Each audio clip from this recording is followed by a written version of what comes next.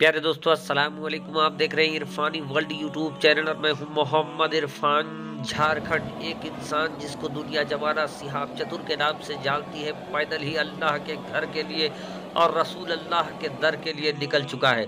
जी हाँ दोस्तों, सिहाब चतुर जिनका सफ़र लगभग तीन हज़ार किलोमीटर तक वो कर चुके हैं और आठ हज़ार छः सौ चालीस किलोमीटर का कुल सफ़र करना है। लेकिन ऐसे दोस्तों, काबा शरीफ से पहले एक जगह जब की सिहाब चतुर तीन हज़ार किलोमीटर का सफ़र तय कर चुके थे। अचानक से उनका सफ़र रुक गया और अब लोगों में बगावत की बिगुल फूकले जा रहे हैं लोग। दोस्तों, सिहाब चतुर के लिए लोग कर ले जा रहे हैं बड़ी बगावत। क्या है पूरी खबर दोस्तों और आज कहाँ बिताएँगे जुबा? सिहाब चतुर वो पूरी जानकारी आज इस वीडियो में रख ले जा रहे हैं। लेकिन दोस्तों, उससे पहले रिक्वेस्ट करेंगे अगर आप भी ये चाहते हैं सिहाब चतुर को जल्द से जल्द अपना सफ़र सिहाब चालू करें, सब जल्द से जल्द उनकी मुश्किलें दूर हो जाए। तो दोस्तों, आप उनके हक में ज़रूर दुआ करें, बिलखसूस लवाजों में सिहाब के लिए ज़रूर दुआ करें, ताकि जल्द से जल्द वो हजूर सल्ला वसल्लम की चौखट तक और अल्लाह तबारक व ताली के घर तक, काबा शरीफ तक मदीला शरीफ तक सिहाब भाई जल्द से जल्द पहुँच जाए। प्यारे दोस्तों, सिहाब चतुर जिनका पैदल हज का सफ़र दुनिया के सामने आ चुका है। और पैदल घर से निकलकर लगभग तीन हज़ार किलोमीटर का सफ़र सिहाब चतुर पहले ही तय कर चुके हैं। और दोस्तों, सिहाब चतुर पाकिस्तान से महज चौदह किलोमीटर की दूरी में है। पंजाब के अमृतसर जिला, खासा गाँव, आफिया किड्स स्कूल में अभी मौजूद है। और आज सैयदुल अयाम जुमा है तो जुमा की नमाज़ उसी के इर्द गिर्द वो अदा करेंगे। लेकिन दोस्तों, आखिर क्या हुआ कि सिहाब चतुर तीन हज़ार किलोमीटर चलने के बाद एकाएक उनका सफ़र थम गया। उनका सफ़र आगे जारी रहेगा या नहीं रहेगा, वो आगे बढ़ेंगे या नहीं बढ़ेंगे, क्या वहीं से वापस लौट जाएँगे या फिर आका के दर तक और अल्लाह के घर तक वो जाएँगे, पूरी जानकारी इस वीडियो में मैं आपके सामने शेयर करने वाला हूँ। प्यारे दोस्तों, सबसे पहले बहुत सारे लोग अभी ये जानना चाहते हैं कि सिहाब चतुर कब निकलने वाले हैं? तो मैं आपको सीधी बात बता दूँ कि सिहाब चतुर अभी भी कब निकलेंगे? इसका कोई निश्चित डेट नहीं तय हुआ है। लेकिन उम्मीद किया जा रहा है जल्द से जल्द उनका सफ़र आगे तय होगा। अभी भी सिहाब सिहाब चतुर आफिया किड्स स्कूल, खासा गाँव, अमृतसर, पंजाब में मौजूद है। इधर दोस्तों, जब बाघा बॉर्डर और सिहाब चतुर की दूरी सिर्फ़ 14 किलोमीटर की रह गई थी 12 से 14 किलोमीटर की। तो अचानक से उनका सफ़र क्यों थम गया? मैं आपको बता दूँ कि सफ़र थमने की वजह वीज़ा है। पंजाब सरकार वीज़ा, वो वीज़ा सिहाब चतुर को नहीं दे रही है जिस वीज़ा का सिहाब चतुर मांग कर रहे हैं, बल्कि वो वीज़ा सिहाब चतुर को देने जा रही है पंजाब पाकिस्तान सरकार। जिसको विजिटर वीज़ा कहते हैं। लेकिन सिहाब चतुर को खास वाला वीज़ा चाहिए। बहरकैब दोस्तों पाकिस्तान सरकार ने इसके लिए कानूनी अड़चने रख दिया है सिक्योरिटी प्रॉब्लम रख दिया है, कानूनी अड़चन रख दिया है।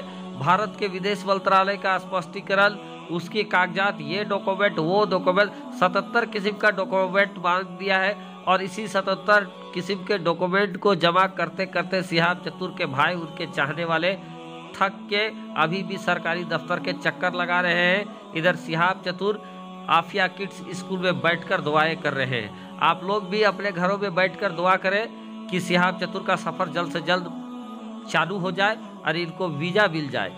इधर दोस्तों, सिहाब चतुर की इन परेशानियों को देखते हुए, चूँकि सोशल मीडिया का ज़माना है, यहाँ का वहाँ वहाँ का यहाँ होता रहता है खबर। पाकिस्तान में बगावट की तैयारी चल रही है। पाकिस्तान के लोग अपने ही हुकूमत के खिलाफ भड़क रहे हैं। पाकिस्तान के लोगों का ये कहना है कि हम लोगों ने सोशल मीडिया में देखा है कि किस तरीके से सिहाब चतुर को भारत की सरकार ने प्रोटोकॉल दिया है, जबकि वहाँ पर हिंदू लोगों को राज चल रहा है। कई ऐसे जगह जगह है जहाँ पर बीजेपी की हुकूमत है। कई ऐसे जगह है जहाँ अधिकतर जगह हिंदू लोगों का राज है, उनका गवर्नमेंट है, लेकिन उसके बावजूद भारत में हिंदू से लेकर मुसलमान तक सभी ने सिहाब चतुर को प्रोटोकॉल दिया है।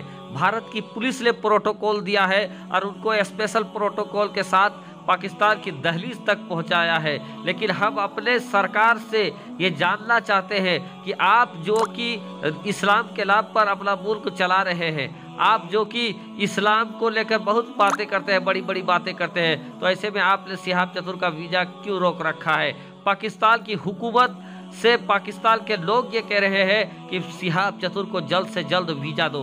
और अगर सिहाब चतुर को जल्द से जल्द वीज़ा नहीं दिया जाता है दोस्तों तो जिस तरीके से पाकिस्तान की मीडिया, पाकिस्तान की आम आवाम का गुस्सा बढ़ता जा रहा है, एक ना एक दिन आने वाले वक्त में जल्द देखेंगे कि सिहाब चतुर के खातिर बगावत का बिगुल फूक दिया जाएगा पाकिस्तान में। और जगह जगह पर दोस्तों, जो संवैधानिक तौर पर जो एहतजाज अपनाया जाता है, जो विरोध प्रदर्शन किया जाता है, वो विरोध प्रदर्शन भी हो सकता है। अगर सिहाब चतुर को वीज़ा देने में पाकिस्तान हुकूमत देर करती है तो सीधे तौर पर पाकिस्तान के लोगों का ये मांग मानना है कि जिस तरीके से सिहाब चतुर को वीज़ा देने से आनाकारी कर रहा है या कानूनी अड़चने बताकर उनके वीज़ा को लटकाया जा रहा है, इससे पूरे दुनिया में, मुस्लिम कंट्री में, पाकिस्तान की जो छवि है, वो खराब हो रही है। और जल्द से जल्द पाकिस्तान हुकूमत को सिहाब चतुर को वीज़ा देना चाहिए। ये अब पाकिस्तान के लोग, पाकिस्तान के यूट्यूबर, पाकिस्तान के सोशल मीडिया से जुड़े पत्रकार और दूसरे पत्रकार लोग कह रहे हैं। और ये भी वो अपनी ज़ुबान से कह रहे हैं कि अगर पाकिस्तान ने जल्द से जल्द सिहाब भाई को प्रोटोकॉल के साथ यहाँ पर नहीं दिया, बल्कि उनका कहना है कि भारत वालों ने इस तरीके का प्रोटोकॉल दिया है तो हम तो मुस्लिम कंट्री है और वो अल्लाह का बेहवाल बनकर आ रहा है सिहाब चतुर। उसको तो भारत से ज़्यादा प्रोटोकॉल मिलना चाहिए। अब दोस्तों, पाकिस्तान में कैसा प्रोटोकॉल मिलता है? ये आने वाले वक्त में पता चल जाएगा। लेकिन फ़िलहाल पाकिस्तान के लोग भड़के हुए हैं। अपने ही हुकूमत के खिलाफ भड़के हुए हैं। गुस्से में है और सरकार से मुतालबा कर रहे हैं कि जल्द से जल्द सिहाब चतुर को बीजा दे। तो दोस्तों, बगावत की बिगुल फूकी जा चुकी है। बगावत धीरे धीरे फैलता जा रहा है पाकिस्तान के अंदर। सिहाब के हक में लोग खड़े हो रहे हैं। सरकार से ज़बरदस्त मांग कर रहे हैं कि जल्द से जल्द इनका वीज़ा दे।